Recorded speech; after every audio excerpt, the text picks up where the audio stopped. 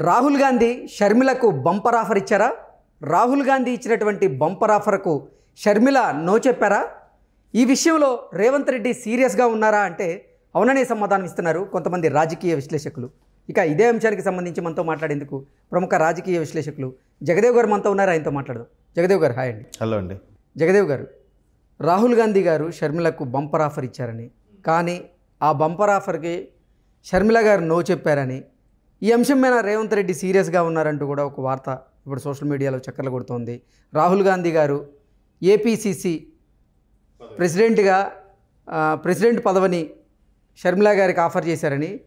కానీ ఇప్పుడు తానున్నటువంటి పరిస్థితుల్లో పార్టీకి అవసరమయ్యేటువంటి ఖర్చులు నేను భరించలేను నా దగ్గర అంత డబ్బులు లేవంటూ కూడా సున్నితంగా ఆ ఆఫర్ని షర్మిల గారు రిజెక్ట్ చేశారని. కానీ రేవంత్ రెడ్డి గారు మీరు ఆ ఆఫర్ని యాక్సెప్ట్ చేయండి నేను మీకు ఎంతో కొంత హెల్ప్ చేస్తాను అని ఆయన భరోసా ఇచ్చినట్లుగా కూడా ఒక వార్త బయటకు వచ్చిన నేపథ్యంలో ఏంటి ఈ వార్తలో వాస్తవం ఉందా అంటే ఏం చెప్తారు?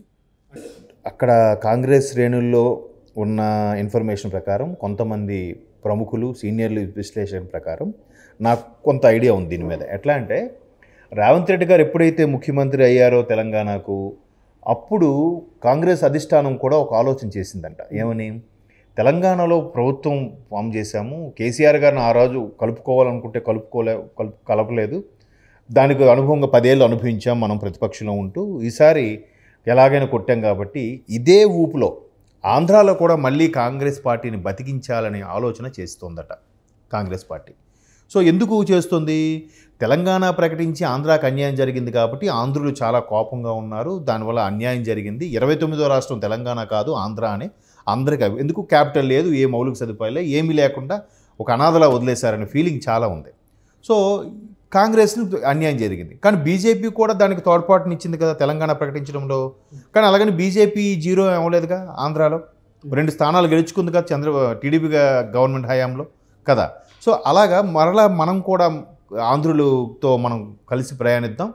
మళ్ళీ మన పార్టీని బతికిద్దాం. అని చెప్పి ఆలోచన చేసి ఎలాగూ షర్మిల గారు తెలంగాణలో మనకు సపోర్ట్ ఇస్తున్నారు కాబట్టి బయట నుంచి కూడా పోటీ చేయకుండా ప్రభుత్వం మద్దతు ఇస్తామన్నారు కాబట్టి ఈవిడ్ని సరిగ్గా రాజశేఖర రెడ్డి బిడ్డగా రాజశేఖర రెడ్డి ఎలాగూ కాంగ్రెస్ ముఖ్యమంత్రిగా చేశారు కాబట్టి ఆ బిడ్డగా అక్కడ పీసీసీ చీఫ్ ఇవ్వాలన్న ఆలోచన ఇప్పుడు కాదు ఎలక్షన్స్ ముందు నుంచి కూడా ఉందంట ఒక ఆలోచన. సో ఎప్పుడైతే రేవంత్ రెడ్డి గారు ముఖ్యమంత్రి అయ్యారో కాంగ్రెస్ తెలంగాణలో బలపడిందో దీన్ని ఖచ్చితంగా అక్కడ ఇంప్లిమెంట్ చేయాలి కాంగ్రెస్ని బతికించుకోవాలి ఒక ఒక స్థాయికి తీసుకురావాలని ఆలోచన చేసిన సందర్భంలో రేవంత్ రెడ్డి గారు కూడా షర్మిలాకి ప్రిఫర్ చే రిఫర్ చేసినట్టు కూడా కొన్ని వార్తలు ఉన్నాయి. అయితే షర్మిల గారు వద్దు నాకు ఏఐసిసి పదవి కావాలి ఏసీసీలో కీలక పదవి కావాలి అనే ఉద్దేశంలో ఉన్నారు. ఎందుకు? ఆవిడ మొదట చెప్పే అంశం ఏంటంటే నాన్నగారు అదే రాజశేఖర రెడ్డి గారు ఎలాగో కాంగ్రెస్లో రెండుసార్లు ముఖ్యమంత్రి అయ్యారు కాబట్టి అలాగే నేను కూడా కాంగ్రెస్కి మొన్న ప్ర ఇది సపోర్ట్ ఇచ్చాను కాబట్టి నా పైన కృతజ్ఞతా భావం కాంగ్రెస్కు ఉంది నన్ను ఒక సముచిత స్థానంలో పెట్టాలని కాంగ్రెస్ ఆలోచిస్తోంది. బట్ ఏసీసీ అయితే బెటర్ అని ఎందుకు అంటున్నారంటే బట్ అందరూ అనుకునేది ఏమిటంటే దాన్ని ఒక పదవి బాధ్యతగా చూడాలి దానికి చాలా ఖర్చు పెట్టాలి. అట్లీస్ట్ అంటే గవర్నమెంట్ ఫామ్ చేస్తారు కాకపోయినా ఓటింగ్ పర్సంటేజ్ని పెంచుకోవడానికి ఒక ఆలోచన కాంగ్రెస్ అధిష్టానం. ఆ ఓటింగ్ పర్సంటేజ్ కూడా రాలేదనుకోండి ప్రెజర్ అంతా ఎక్కువ పడుతుంది కదా. పైగా చాలామంది సీనియర్ నాయకులు ఉన్నారు. అనుభవం పరంగా ఇవిడు చిన్న ఆవిడ. వాళ్ళందరినీ హ్యాండిల్ చేయగలరా? కాంగ్రెస్ అంటేనే ఎక్కువ మంది నాయకులు చాలామంది సీనియర్ నాయకులు ఉంటారు. అదొక రీజను రెండోది అన్నిటికన్నా మెయిన్ రీజను కాంగ్రెస్ పీసీసీ చీఫ్గా ఉంటే ఖచ్చితంగా సొంత అన్నయ్య మీద బురద జల్లాలి. ఉమ్, విమర్శలు చేయాలి. దుయ్యబట్టాలి. ఏదంటే అది నోటికి వచ్చినట్టు మాట్లాడాలి. ఇప్పటికే ఎడమొహం పడమొహంగా పొరపచ్చాలు వచ్చే సందర్భంలో పీసీసీ చీఫ్ అయితే అక్కడ గెలుస్తారా పార్టీ ఎంత ప్రభావితం చేస్తుందో తెలియదు కాబట్టి కానీ ఖచ్చితంగా వైఎస్ఆర్సీపీ ఓటునైతే చీల్చుతుంది ఆవిడ. ఎందుకు? రాజశేఖర రెడ్డి గారు రెండు కళ్ళలో ఒక కన్ను జగన్మోహన్ రెడ్డి అయితే ఒక కన్ను షర్మిల గారు. కదా? రెండు కళ్ళలో ఏ కళ్ళు ఏ కన్ను ముఖ్యం అంటే ప్రజలని ఏం చెప్తారు? అంటే ఐ మీన్ వై ప్రజలు ఇన్ ద సెన్స్ వైసీపీ అభిమానులు. వైసీపీ ఫేవర్గా ఉండేవాళ్ళు ఎవరైనా ఆ వేసే ఒకటి రెండు ఓట్లు కూడా షర్మిలా గారికే వేస్తారు. అరే ఆ బిడ్డరా మన తెలుగు బిడ్డ కదా మనకు రాజశేఖర్ గారి బిడ్డ కదా అని కొంచెం సానుభూతులు ఎవరైనా. అంటే యా- ఒక ఫైవ్ పర్సెంటేజ్ జగన్మోహన్ రెడ్డి గారికి వచ్చే ఓటింగ్ కూడా అటు షర్మిలా గారికి వెళ్ళిపోతుంది.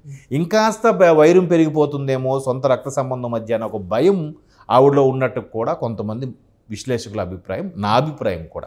సో అందుకు దాన్ని అలా చూపించకుండా ఇలాగ ఖర్చుతో కూడుకున్న వ్యవహారము ఇంతమంది పార్టీని మెయింటైన్ చేయ అంటే జగన్మోహన్ రెడ్డి గారిని విమర్శించాలని విమర్శించాల్సి వస్తుందేమో అది నాకు భవిష్యత్తులో ఇబ్బందికరంగా మారే అవకాశం ఉందని భావించి షర్మిల గారు ఈ ఆఫర్ను నో చెప్పారనుకోవచ్చా? లేదంటే నిజంగానే పార్టీని నడిపించేటువంటి లేదంటే పార్టీని నడిపించడానికి కావాల్సినటువంటి ఇంధనం అంటే వనరులు కానీ లేకపోతే ధనం కానీ ఆవిడ దగ్గర లేదనే ఆవిడ ఇలా ఆఫర్ని రిజెక్ట్ చేశారనుకోవచ్చా అంటే ఏం చెప్తారు? లేదండి. నేనైతే కేవలం దానికి సంబంధించిన వనరులు లేవు అంత కెపాసిటీ లేదంటే నేను దాన్ని నేను విశ్వసించలేను. ఎందుకంటే కేవలం ఇంకాస్త జగన్మోహన్ రెడ్డి గారికి ఆవిడికి మధ్యలో ఇంకా ఇబ్బందికర సన్నివేశాలు పెరిగే అవకాశం ఉందనే తిరస్కరిస్తున్నానన్నట్టు నా అభిప్రాయం. ఎందుకంటే ముందు ముందు కొడుకు పెళ్ళి కూడా ఉంది షర్మిల గారు అబ్బాయి పెళ్ళి అక్కడికి ఇన్ని రోజులు లేదు. ఒకవేళ ఒక నేషనల్ మీడియా ఇచ్చిన సర్వే కథనాల ప్రకారం చూసుకుంటే ఒకవే ఫిబ్రవరిలోనే డిక్లేర్ చేయొచ్చు. అదే ఫిబ్రవరిలో పెళ్ళి. ఎట్లా ఆవిడ టైం కేటాయిస్తుంది? ఇటు సొంత కొడుకు పెళ్ళి మరోవైపు పార్టీ. అక్కడ క్యాన్వాసింగ్ అన్ని బా- బాధ్యతలు అన్ని తీసుకోవాలి కదా ఏ సీటు ఎవరికి ఇవ్వాలి? అవసరమైతే ఢిల్లీ వెళ్ళి వస్తుండాలి అధిష్టానంతో మాట్లాడుతూ ఉండాలి. ఇవన్నీ ఎక్కడ కేటాయించగలరు? చేయలేరు. అండ్ మోర్ ఓవర్ ఆ పెళ్ళికి అన్నయ్య వస్తాడా రాడా నిన్న చెప్పడానికి కూడా వెళ్ళారు. ఇన్ని ఉంటాయి కదా ఫ్యామిలీ టెన్షన్స్ కూడా ఉంటాయి. మరోవైపు తల్లి కూడా ఉంది తల్లి ఈమెతోనే ఉంది. తల్లి ఇప్పటికి ఎప్పుడు ఈవిడితోనే ఉంటుందా? అటు అన్నయ్య వైపు కూడా వెళ్తుందా? ఇన్ని రకాల ఆలోచనలు పర్సనల్గా కూడా ఆవిడ కొంచెం మెంటల్గా డిస్టర్బ్ చేస్తాయి కదా. సో డిస్టర్బ్ చేస్తాయి కాబట్టి పీసీ చీఫ్ పదవి వద్దని నేను అనుకుంటున్నాను. కాదు కూడదంటే ఆ బ్రదర్ అనిల్ గారు కానీ ఈవిడికి కానీ ఆ శక్తి లేదంటే నేను ఒప్పుకోను. ఖచ్చితంగా శక్తి ఉండే ఉంటుంది. ఎందుకంటే రాజశేఖర రెడ్డి బిడ్డ అండి ఆవిడ. అటువైపు బ్రదర్ అనిల్ గారు అండి ఆయన చాలా పెద్ద పాస్టరు. ఖచ్చితంగా వాళ్ళకి ఆ కెపాసిటీ ఉందనే అని నేను అనుకుంటున్నాను నేను. అది కాకుండా రేవంత్ రెడ్డి గారు లాంటి వ్యక్తి సాయం చేస్తామన్నారంటే ఖచ్చితంగా పార్టీ ఫండ్ మొబిలైజ్ చేస్తుందిగా. కాంగ్రెస్ ఏంటి ఒక రాష్ట్రంలో ఒక రాష్ట్రంలో ఉన్న పార్టీ కాదు కదా. నేషనల్ పార్టీ అది. జాతీయ పార్టీ ఎన్నో రాష్ట్రాల్లో ఉన్న పార్టీ అది. ఎప్పటి నుంచో ఉన్న పార్టీ అది. మరి దానికి ఫండ్స్ మొబిలైజ్ చేయడము మెయింటైన్ చేయడం కష్టమని నేనైతే అనుకోవట్లేదు కేవలం కుటుంబ కలహాలు మరి కాస్త పెరిగిపోతాయి ఎడమొహం పెడమొహం అయిపోయే అవకాశాలు ఉన్నాయని భయంతోనే ఆవిడ తిరస్ తిరస్కరిస్తున్నారని నా అభిప్రాయం. ఎందుకంటే రేపు వచ్చే ఎలక్షన్లు కూడా కురుక్షేత్రాన్ని తలపించబోతున్నాయని చాలామంది చెప్తున్నారు. ఆ కురుక్షేత్రం ఏం జరుగుతుందో? ఎవరు బలవుతారో? ఎవరు త్యాగం చేస్తారో? మరి వైఎస్ఆర్టీపీని ఇప్పుడు ఆవిడ కాంగ్రెస్ పార్టీలో విలీనం చేశారు. కాంగ్రెస్ పార్టీలో ఇప్పుడు ఓ మెంబర్గా ఆవిడ కొనసాగుతున్నారు. ఒక కీలక పదవి గనక తీసుకోకపోతే ఆవిడ పరిస్థితి ఏంటి మరి? అందుకే ఆవిడ ఏసీసీ కీలక పదవి అవడానికి కారణం అదే. ఏసీసీలో కీలక పదవిగా ఉంటే అంత రెస్పాన్సిబిలిటీ ఇక్కడ ప్రెషర్ ఉండదు.